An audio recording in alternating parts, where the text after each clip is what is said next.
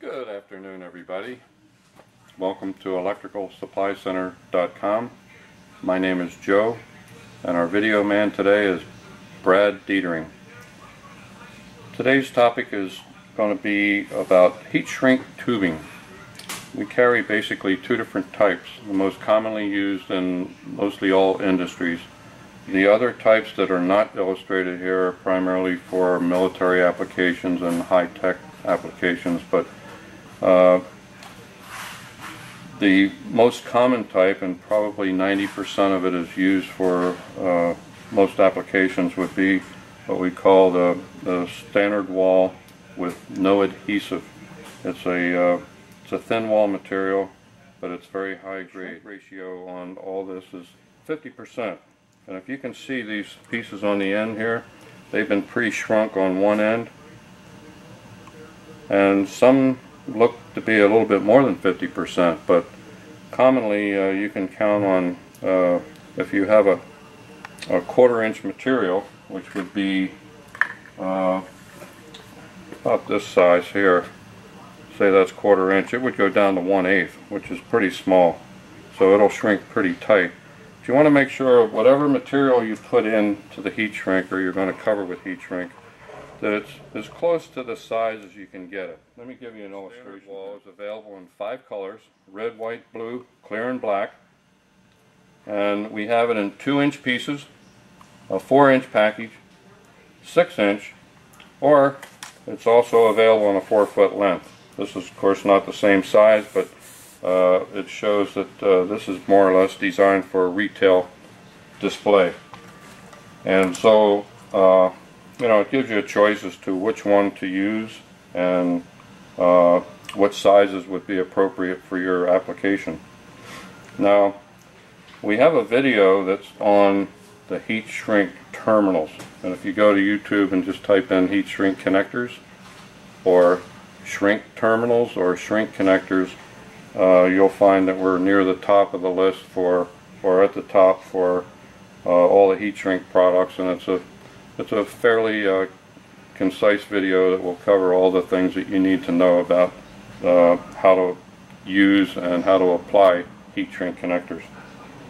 And here's an illustration here which I don't have in the video but it does show uh, how effective these can be. This is fully submergible in water, chemicals, gas, oil, uh, acid, and it won't penetrate into the wire because there's glue on each end that comes out and it completely seals it so it gives you a solid uh, connection from end to end without uh, deteriorating from any corrosion factor or any other issues that may affect the wire.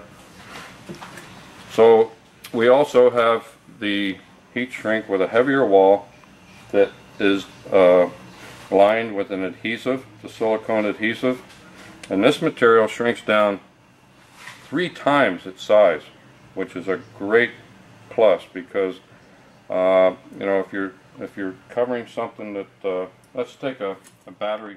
This is not printed on here, uh, but for illustration purposes, I want to show you how this works. This is a type that has uh, a heat shrink material in it. You only need enough to make sure that you cover the uh, part between the insulation of the battery cable and the end of the battery terminal. You, you don't want any gap in there.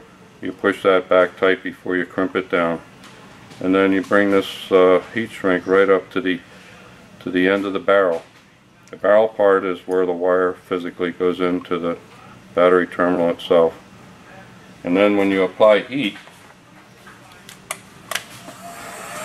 you can see that uh, this will take a little bit longer because it's a thicker material.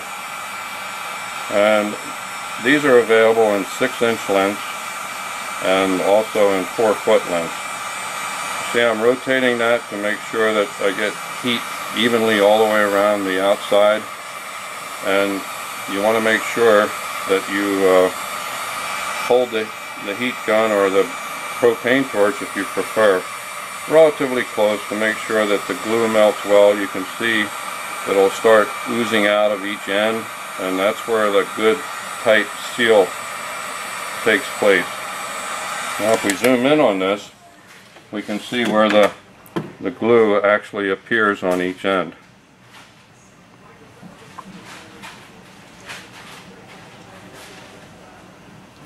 Now, the good thing about this is if there's any battery cable problems, providing that you have a good solid crimp, uh, it's visually out here because everything underneath is very well protected and sealed from end to end. This is excellent for boats, uh, especially boats because uh, many of them are used primarily in salt water. So you have this saltwater corrosion which will just totally destroy a battery cable in, uh, in a few months. Um, and this will protect your battery terminals. If there's any corrosion that builds up, you can visually see it here, and it's easy to clean. Oftentimes you can't see what goes on when, once it hits the wire part of it, because uh, that's where all the damage, the deterioration starts, and then your battery doesn't work because it's not being fed the proper uh, energy through your battery cable. Uh, that's another video. Uh, we'll talk about battery terminals and heavy duty lugs, but I just wanted to show how this heat shrink works. It's, uh, it's wonderful. Costs more, but it's very well worth it. And it's used for certain applications that you wouldn't use every day. Remember, this is 80%, 90% of all your applications for uh, indoors uh, or for components that are not uh, directly exposed to the uh, the outdoor weather, uh, which includes a lot of sun, for for instance, or uh, a rainy season like we have here in, in the northwest. Uh, you'd want to use something that has this uh, adhesive inside if you're going to have, say, like underground burial, for instance. This would be perfect for that. I've got a great example. 24 years ago, I bought a house and the previous owner had a water fountain. And the water fountain had an electrical wire that ran down underneath of the fountain itself, under the ground, under a sidewalk, and then it plugged into a, a wall outlet. And when I turned the fountain on, when we first moved there, the water fountain would pop a circuit breaker. And I thought, what the heck is going on here? And I had to do a lot of research because uh, you don't know. Is it the pump? Is it the wiring? Is it the receptacle? Is it uh, the circuit breaker? Is it the panel box? You don't know. So I, first of all, I dug up the wire to make sure that it was okay and discovered that there were connections that were very similar to this one here that we did. There were two wires, uh, but they did not have any protection on them. It was just the connection itself, just the, uh, the terminal. And moisture got in there and started shorting it out because of the wire. And it would blow a circuit breaker.